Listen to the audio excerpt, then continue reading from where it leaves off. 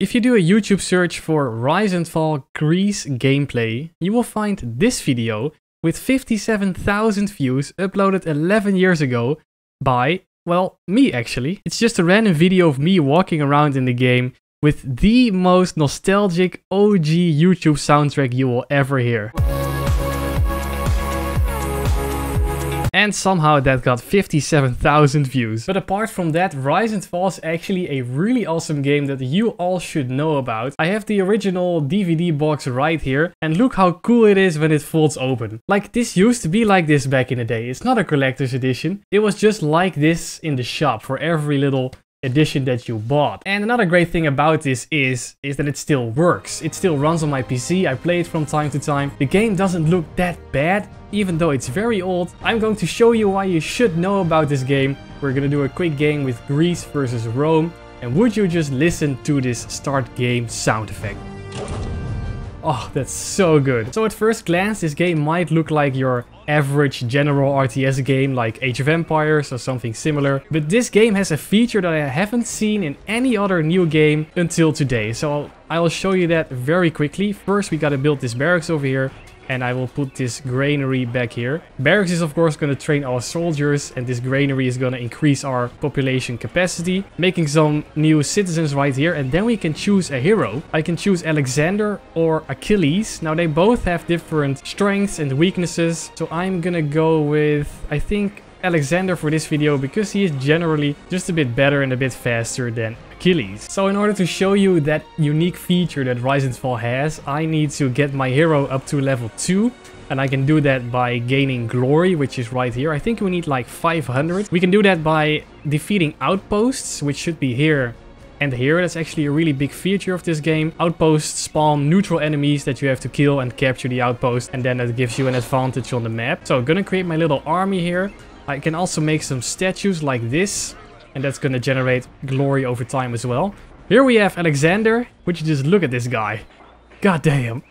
Alright. Also formations in this game are also really cool. You see as the group gets bigger, they get in this little formation with their banner. I just think that looks really cool. Okay, I think my army is big enough now to attack the first outpost. Should be one right there. There it is. It's just a neutral outpost. You can see that by the white flags. It's gonna turn blue if we capture it. And as you can see, it spawns these enemies that we have to kill. So I'm just gonna let this little army here do that. Let these guys join as well. And let's get my hero to level 2 as soon as possible. Got some new citizens here on wood cutting and gold. Okay, let's go. So apart from other RTSs where you have to upgrade your civilization by building landmarks or building special buildings, in this game you have to level up your hero and that gives your civilization the ability to research new things as well. So it's very centered about your hero. I, I almost captured this outpost right here. There you go, perfect. Gonna move my army to this one right now. So we have those two captured. And also I'm almost level 2, so that's great. Gonna make another statue real quick. You can go on, let's say, wood. So we get more wood for the statues. Yep, and there it was. I love that hero upgrade sound, but I just love this game in general. My hero is level 2 now. As you can see, the stamina is increasing. It needs to be not flashing for me to finally show you the feature that is so cool about this game. So I'm gonna wait a little longer and then we're gonna take this next outpost here. My enemy is on this side, by the way, it's not a very big map. And because my hero leveled up, like I said, I can also improve my soldiers now. So I can make improved Hypaspists or improved archers or hoplites. So I'm training some archers now as well. And then I will do these two upgrades. Here are my archers. Looking pretty cool already. If they are all fully upgraded, they get like this super cool gold armor. Not sure if we're gonna see that this game because I'm gonna go about it pretty quick. Oh crap, my hero actually walked into the outpost because there is a enemy Roman archer walking around here, so he was chasing her. Let's kill that. There you go. Don't need to kill these outposts units already. Well, I can, but, but as you can see, my stamina is no longer flashing. Just gonna regroup back here. And now, when I hit the Q key on my keyboard, this happens. Hell yeah. I can control my hero from a third person's perspective. I can look around. I can see my army right here. I can make them follow me if I do this. They will scream and now we can actually attack this outpost. So it completely changes your view of the map, changes your view of the game. Army is following me and we are going to charge this outpost right here. Let's see. I can actually make them charge and they will just go in. Here we go, guys. And let's see some sick combat. It's mostly just mouse mashing, I would... I don't know how you would call it. It's not a lot of depth in this combat, just slash them around. But as you can see, my stamina goes down when I do this or when I get hit. And if it's gone down to zero, I can't go in hero mode anymore. And I would have to wait until the stamina is recharged. But look at this, we're doing a pretty good job. I also have a bow.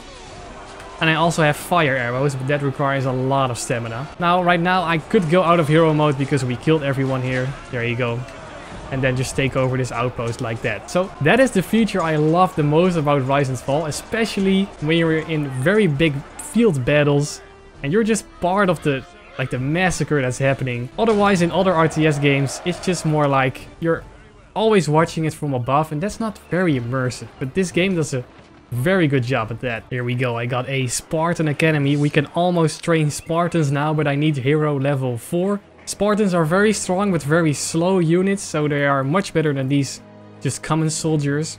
But I need hero level 4, so let's go and aim for that. Also got a stable, so we can make some cavalry. Let me do that real quick and upgrade them as well. As you can see, I can now make companions and Cretan archers, and they actually have a different look. So all of these guys right here will change looks very soon. If you click on this little icon on the bottom right, right here, you will open the diplomacy menu and you can research a bunch of stuff here, like improving morale, that makes your army stronger, so I'm gonna do that. Improves the hit points of siege weapons, well I don't think that's necessary. Citizens instantly drop resources, that's a very nice one. And improving the range of archers is also nice, but it costs glory as well. So you know what, I'm gonna cancel that one for now. This one also not very necessary, because I just want to level up my hero as fast as possible. So, make more statues, please.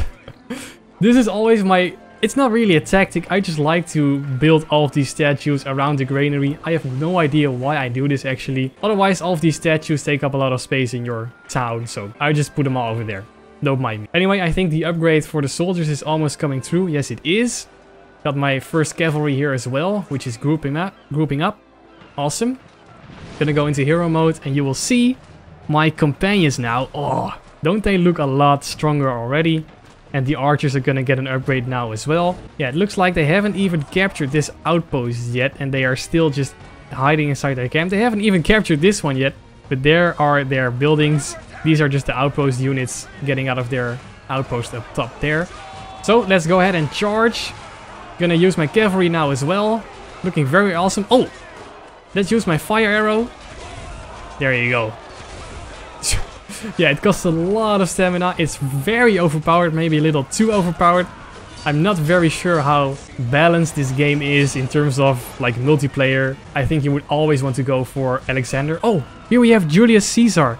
There he is, guys. That's the hero for Rome. We can shoot him in the ass. Oh crap, I missed. But as you can see, he is not in hero mode right now, otherwise he would be walking differently, like way faster. But the AI can also go in hero mode and you will definitely see the difference. So let's quickly take this outpost. Let's regenerate some stamina real quick. Yeah, I think this is gonna be a pretty easy win, guys. He built a lot of barracks though. So that's kind of scary, but I don't think he's gonna make a lot of units. We will see how his army is. I'm gonna wait until I have enough stamina again and then actually go into his camp. Also look at my cavalry right here. They upgraded their looks as well at my archers. So everyone's looking very, very nice. And that's level 4. I'm gonna research Spartans now and then I will show you guys what they look like. They're very badass, but very slow. But in a map like this, it's not too bad, it's not too big, so that's fine. I'm actually being attacked by something here. Oh, I think Julius Caesar is shooting at my horses. He killed some of them right there. I can't go into my hero right now, so I can't see into his camp. Oh! And there's his army. Okay, it's not that big actually, and he hasn't upgraded them as far as I can see. I can go into hero mode right now. So look at this big battle happening here right now, guys. It almost looks like Bannerlord, you could say. But would you just see what one fire arrow does? I think it's a little bit too overpowered. Just gonna let my army do its thing. I think they will all survive. I think we should be fine here. They actually have a pretty decent army. Also some spearmen coming in there. Gonna do some damage in here. And then I will probably, yeah, kicked out of hero mode because I don't have any stamina left. Come on guys, regroup. Let's kill this little army right here. You focus on the horses. And we maybe might need to make some, well, Spartans actually. and some more cavalry that I can send this way. Alright guys, his army is gone. I'm gonna go into his camp right now.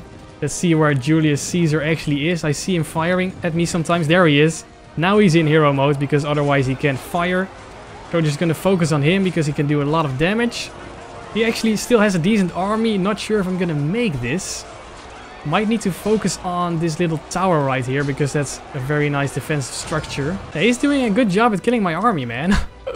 I need to step up my game. Yeah, I am not going to make this. I'm actually gonna get killed here. He has a lot of these basic units. They're not very strong. My hero is also gonna die. Yeah. There goes Alexander. No worries. He will just respawn in like a minute or something. But he has a pretty good army. Looking at his army, I should probably make spearmen and archers to defeat his cavalry. Oh crap, if, he, if he's actually coming right now, I might have a little issue. I do have some cavalry here. Oh, and my first Spartans. Yeah, look at these guys. I think if I make a little Spartan army, there's no way they're going to be able to defeat them. 3, 2, 1, and there you are. I have the final tier of archers right here. Royal archers they are called. With this sick golden armor. And uh, I really love those helmets, so looking really cool. Got my Spartan army right here, which are still increasing. And I am also building a ballista right here. I might do two of those, so I can actually destroy his defensive buildings. I, he might also be attacking me soon, but he will first attack my other outposts here, probably. Yeah, I think I'm ready. Got two ballistas, got two full groups of archers and Spartans here. I think we're good, guys. So let's go ahead go to this side and see if his army has gotten any better. I think it will. It will have gotten better because he probably upgraded them to a next tier as well, which might be problematic. But I just have to use my Spartans to counter his cavalry and then just let my archers shoot at anything and my ballistas at his towers and defensive structures like this one. Gonna scout ahead a little with my hero. Oh, yeah, I see some cavalry. He is still training, I think. Oh, they're actually coming. Yep, they're coming. Still, I think this is tier 1 cavalry, so that's very good for me. Need my Spartans in front, because, but they're so slow. So I'll just take on these units very quick. Yeah, they're coming. My archers need to move back a bit. Also, my ballistas don't go in the front line, please.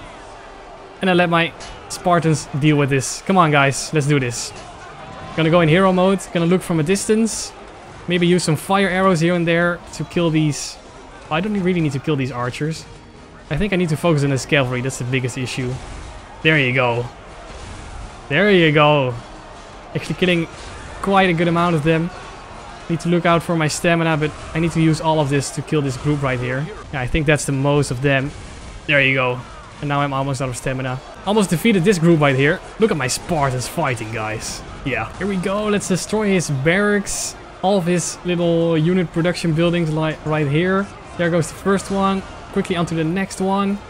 I think we are good right now, guys. Looks like the most of his the majority of his army has already been defeated. Here we go, guys. Doing a really good job destroying all his defensive buildings. He has some units roaming around right here, but not too many. I still can't find Julius Caesar, though. He should be walking around somewhere. If he gets killed, I actually get a message from that, so... Oh! well, there you go. He was fighting here somewhere, I think. Not sure what happened there. Let's kill these, destroy these last buildings.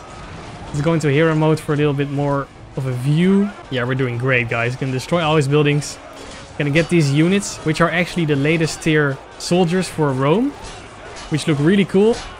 And they come out of this little town defense structure right here. So we're gonna have to take that down as well. There you go. Okay, that's almost everything. He has some statues here, but I don't think that really counts. So I think this right here should be his last building. Oh, look who spawned here again. It's Julius Caesar. He's gonna get a rain of arrows on his head. Look at this. There you go. Yeah, he's going down. He's going down fast. And there it is. Okay. Kill this building. Destroy it, please, quickly. It's also another town. Oh, it's not a town defense. It's just a town center. But it's to go down very fast. Gonna destroy his last little statues here. Get over here. And this should be the end. There it is. You are victorious. Guys, I hope you like this little game. It's just a super cool game. You can download it for free on the internet, I think. Otherwise, it's not too expensive to buy somewhere. It's just so awesome, especially when you play with friends in like these 4v4 maps or 2v2. It can get really hectic and really big armies. I hope you liked it. Let me know in the comments if you are going to play this as well or if you know it. I'm very curious. I will see you guys in the next one.